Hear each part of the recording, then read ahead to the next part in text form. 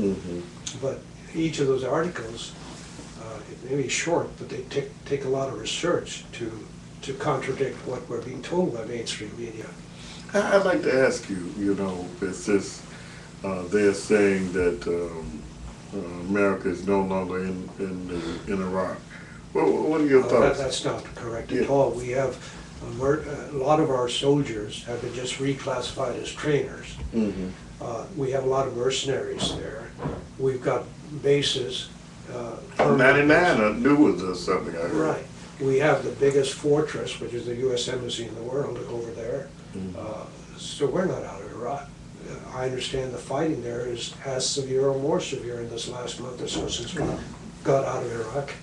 It was someone that told me it's a small group over there that's giving them, was it Fuchsia, uh, a part of Iraq, that's, uh, that was giving uh, America a hard time. Well, These, these people are relentless, and, and they never did surrender, you know. Well, the Taliban, oh, sorry, not the Taliban, this we're in Iraq.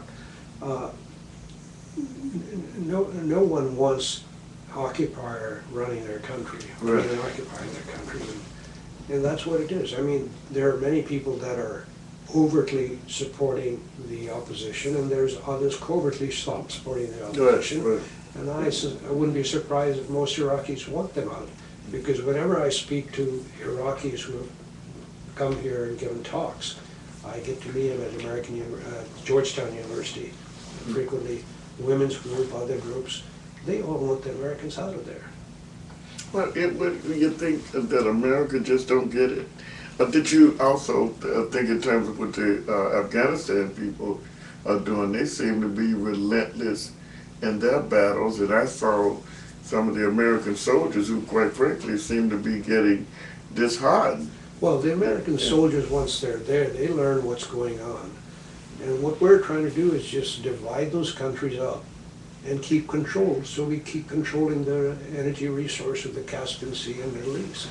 You know, Afghanistan had a decentralized government. We go in there, what do we do? We turn their society upside down by demanding a centralized government. Mm. Iraq had a centralized government, we do want to decentralize. Right. Again, that changes the entire power structure, all the, the society. That is designed to break up the country, or at least keep them divided and fighting amongst themselves, so we can stay there. Yeah, interesting. So the 9/11 unveiled, the war on Islam. Any other books that you want to mention? Uh, Well, I had a chapter in a book uh, called, uh, I don't remember the exact title, Muslim, Christians, and Jews Speak Out. Uh, It was 9/11 in American Empire, and it was a two-volume set, and it has all kinds of scholars, and mostly non-Muslims writing in it. And uh, there's two volume set, so that's a good one, 9/11 and American Empire. Uh, Basically, that's it. But uh, this book is supplemented by photographs, by videos, by all kinds of information on our website. Mhm. And that's mentioned in the book, so. Yeah, we're gonna go to your website. You you really uh, have taken care of yourself quite well, and I understand you just had a birthday recently.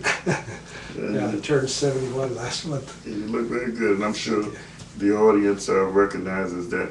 Well, we only have a couple of minutes in this segment. If anything you want to say in closing? Uh, uh, I think uh, Allah was watching out for us to have, have me meet you. Yes. It was a fortuitous meeting, and I thank you very much.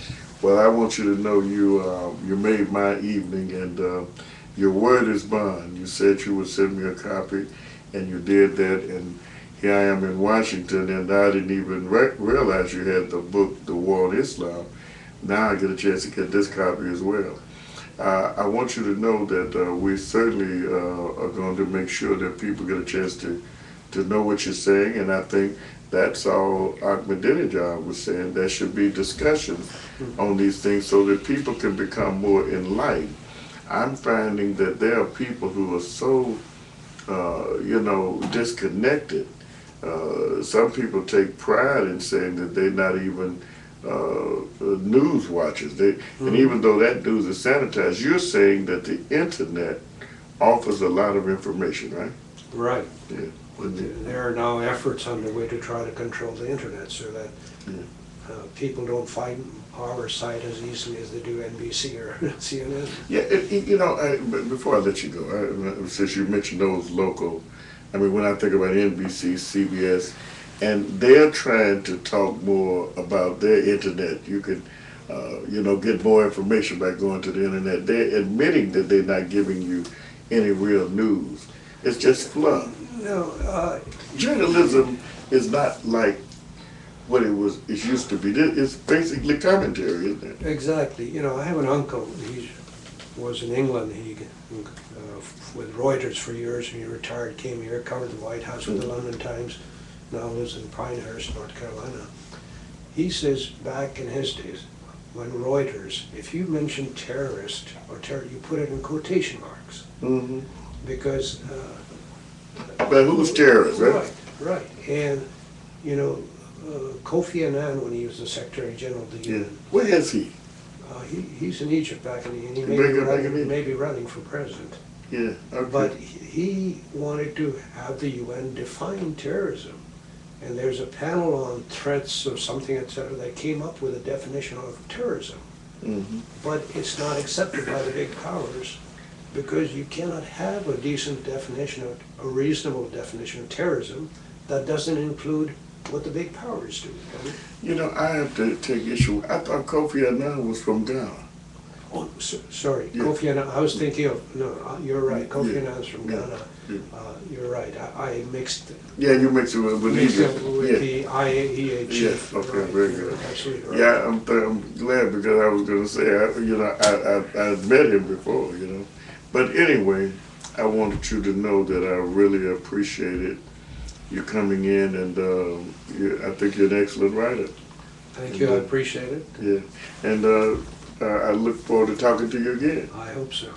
Okay, my dear brothers and sisters, we're going to take a break, and I'm going to come back uh, with um, some closing comments, and uh, hopefully uh, you have been enlightened. And um, uh, Enver Masud has been my guest, and we'll be right back.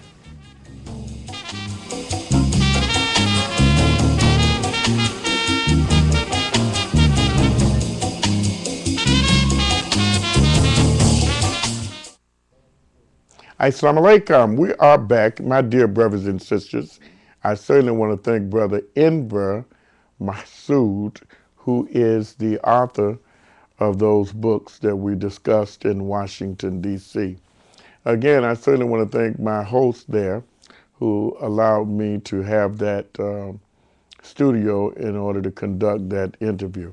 You know, brothers and sisters, it is a very small world today. And this is why I'm thinking very seriously of having an international hour uh, out of one of the shows that we do on a weekly basis. And I say that because there's so much happening. And I think on the international level, we have not been as informed as I would like. As you know, we had the brothers and sisters from uh, Zimbabwe, whom I had a great time uh, with them and uh, Mochangwa is their names, uh, and uh, the senator as well as the ambassador, and we really enjoyed them. And and I was just so enlightened by things that I had forgotten. Actually, uh, going back to Zimbabwe, when I think about Ian Smith, and those of you who don't remember Ian Smith, he was considered like the president of what was called Rhodesia which there was only 4,500 uh, Caucasian people who were absolutely dominating uh, for at least 14 million people. And they were averaging about 20,000 uh, acres per person. And that was really something to, uh, that was appalling. However, in speaking to, I mean, um, Mugabe, who took over, as you know, who got, uh, actually put them out of the, his country, but he's been charged with uh, sanctions. America has sanctions against him because he put these people out and began to redistribute uh, his land. They discovered that there were actually diamonds in abundance that was located in Zimbabwe. And after uh, discovering that, uh, they realized how much these people had stolen uh, from them. So I'm saying to you, brothers and sisters, there's a lot going on, and I know I've heard uh, people make the argument, well, there's enough problems in America, uh, and I don't think we have time to be uh, going outside. I, I probably was one of those people who said that too. But right now, brothers and sisters, the world is so small till we have to be informed and what's going on all over. So I'm thinking of launching this show uh, called the International Hour uh, with uh, Munir Muhammad. And uh, hopefully we'll be able to get some international guests, uh, guests that's of importance that would impact the world and perhaps uh, we can become more enlightened. But I will say this as a follower of the Honorable Elijah Muhammad.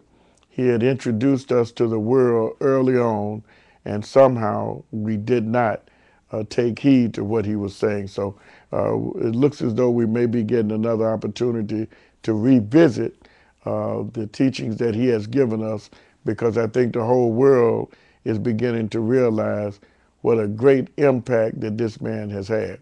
Now, I would like to even just uh, talk to some of the people that aided the Honorable Elijah Muhammad during his time uh, when he was among us. You know, what precipitated that relationship between the Moroccan government and the Honorable Elijah Muhammad that he could do trade with them. So I'm going to be uh, looking and, and searching for people who are willing to come on and talk to us, even countries that are uh, want to be well represented. So we're, we're going to be looking into that. Uh, last but not least, I certainly say again, I was very pleased to get an opportunity to talk to uh, our brother in uh, Washington, Enver. And the reason I was so excited about it because Ahmadinejad received a copy of that book in Washington, D.C., and which uh, precipitated his conversation relative to a commission being formed to study some of the allegations that have been made. Ahmadinejad never denied that there was something that happened in the World Trade Center. I was there, brothers and sisters. He merely stated, since there's so much controversy, it should be revisited. So just as America talks uh, and dips in everybody else's affairs, there are other people are beginning to dip into America's affairs. That's what the United Nations seem to be all about. But anyway, I enjoyed talking to Enver. His website is up. Again, 911 Unveiled is his latest copy, and he's always adding to uh, that particular book. We appreciate our brother greatly, and I'm Munir Muhammad here in Chicago, and I thank each and every one of you for watching, and may Allah bless you with the light of understanding as I greet you in peace. Assalamu alaikum.